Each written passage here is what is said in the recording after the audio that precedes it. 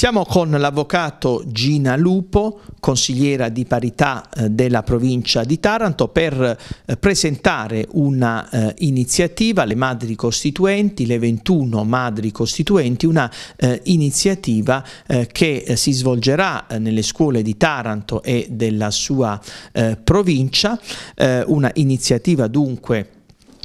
itinerante. Ehm, sarà non solo una mostra per così dire, ma una ricostruzione eh, storica di queste eh, figure eh, che eh, parteciparono alla redazione della eh, Costituzione all'indomani eh, del riconoscimento del loro diritto al voto, del mh, mm, diritto al voto delle donne. certamente, Avvocato Lupo, una battaglia di civiltà, ma anche una ricostruzione storica cattolica eh, dare luce a queste donne che finora eh, non l'hanno avuta.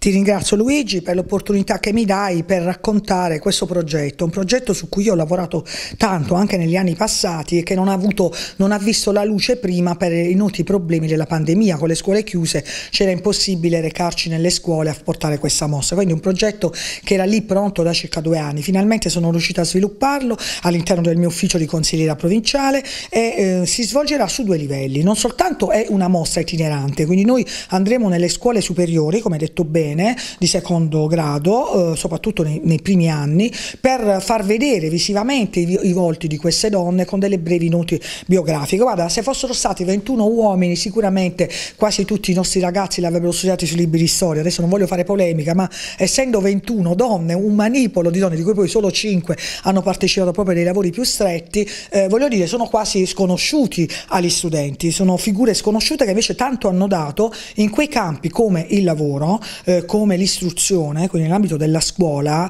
eh, che, che, hanno dettato, hanno gettato proprio i semi per la nuova legislazione. Ma non è soltanto una mostra, non sarà soltanto una mostra, ma eh, spiegherò ai ragazzi e alle ragazze in maniera molto eh, così, anche abbastanza lieve, eh, il percorso. Infatti la, il progetto si chiama Il lungo cammino dei diritti delle donne, perché è stato veramente un lungo cammino. Toccheremo la Grecia, toccheremo la, la Roma, la patria potestas, ma soprattutto toccheremo età più moderne, come il risorgimento, come prima dell'unità d'Italia dopo l'unità d'Italia, guardando al diritto, com'era il diritto civile prima, la prima riforma del 1876, la seconda del 1975, cioè un lungo cammino spesso tortuoso è stato quello dell'emancipazione femminile, fatto di salite, di tante salite, devo dire, di poche discese, per cercare di far comprendere eh, la realtà odierna, quanto le nostre nonne, le nostre nonne delle nonne abbiano lavorato, quante volte ci sono, ci sono le parole delle deputate che hanno detto, qualcuno vuole bloccare la macchina che ci vuole portare verso il progresso, quindi non si trattava soltanto di bloccare la macchina di un progresso,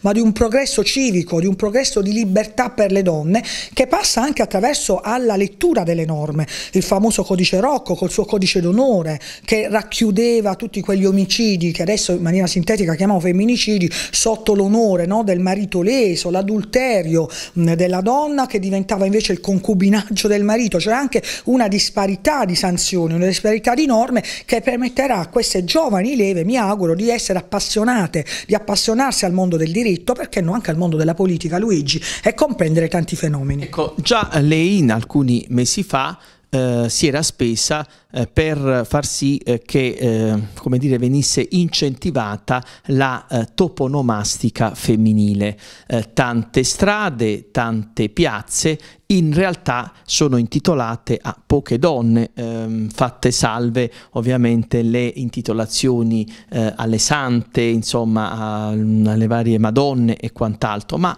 di donne che si sono particolarmente eh, distinte eh, nella società in effetti le nostre strade portano pochi nomi e lei si spese mh, appunto come in qualità di consigliere comunale anche presso l'amministrazione per incentivare appunto eh, la toponomastica femminile. Devo dire che ho trovato il sindaco Rinaldo Melucci eh, molto sensibile a questo tema. Tanti sono stati gli interventi che ho fatto in questi quattro anni, ormai arriviamo alla fine di questa legislatura col sindaco Melucci e ogni qualvolta le ho presentato un progetto che fosse eh, orientato, che avesse il focus sulle donne, il sindaco me l'ha sempre sposato con grande, con grande entusiasmo. Così è stato per la toponomastica. In realtà non è Taranto che ha pochi nomi di donne, al di là di qualche santo o di qualche Madonna, come a volte io scherzando dico dico, ma in tutta Italia il gap, eh, il gap gender è molto sentito. Qualcuno dirà, vabbè, voi pensate di, di parlare di parità di genere dalle strade. Guardate, anche da questo un bambino, una bambina capisce l'importanza di una figura femminile in cui magari, una figura femminile in cui magari si può riconoscere. Tante sono state le persone che nella nostra nazione, ma anche nel nostro territorio si, non, si sono fatte riconoscere. Però stranamente quando poi si deve dedicare una piazza, un giardino, una rotatoria, si preferisce sempre una figura maschile, l'ho detto detto prima a proposito delle 21 madri costituenti, no? non abbiamo in tutta Italia, a Taranto non ce l'abbiamo, nessuna piazza intestata alle 21 madri costituenti, alcune di loro sono passate alla storia, pensate a Nilde Iotti, pensate alla Bianchi nel mondo dell'istruzione, anche alla senatrice Merlin, passata alla storia in realtà per la famosa chiusura delle case chiuse, scusatemi il gioco di parole, però che in realtà ha fatto anche tanto, però al di là di questo le altre figure sembrano quasi evanescenti, eppure erano donne che hanno, eh, hanno combattuto la resistenza, sono donne che hanno vissuto eh, una, una, guerra in prima persona, sono donne che sono state anche incarcerate, però nei libri di storia non le trattiamo. Ehm, anche ehm, finisco di dire, eh, mi aggancio a quello che hai detto tu, sì, una delibera portata in Consiglio Comunale è stata votata e di questo sono molto contenta e orgogliosa da, tutta, da tutto il Consiglio Comunale, da tutti eh, i consiglieri comunali all'unanimità, è stata recepita dalla Commissione elettorale eh, toponomastica, chiedo scusa, del Comune, quindi pre ben presto immagino avremo, grazie a Dio, un giardino, una strada intitolata alle 21 madri, oltre aver chiesto una maggiore attenzione alla, de, alla dedica di una strada, all'intitolazione di una strada a qualche personaggio femminile, proprio per erodere questo gap gender che noi comunque abbiamo come tutta Italia. Bene, e allora fatta questa uh, presentazione, questa uh, premessa, già dalle, uh, nei prossimi giorni seguiremo appunto l'avvocato Gina Lupo tra, i vari, tra le, nelle varie scuole, nei vari comuni di Taranto Taranto e provincia. Perché devo dire Luigi che noi abbiamo mandato il progetto a molti istituti, a quasi tutti gli istituti superiori, non solo di Taranto ma anche di Taranto e provincia, abbiamo già ricevuto immediatamente le prime adesioni e quindi già, ho già un calendario ricco di, di tour eh, che, che, mi farà piacere averti anche per vivere da vicino no, le attenzioni dei ragazzi e cominceremo già subito con alcuni licei che mi hanno già prenotato per questo bel progetto e di questo sono molto orgogliosa.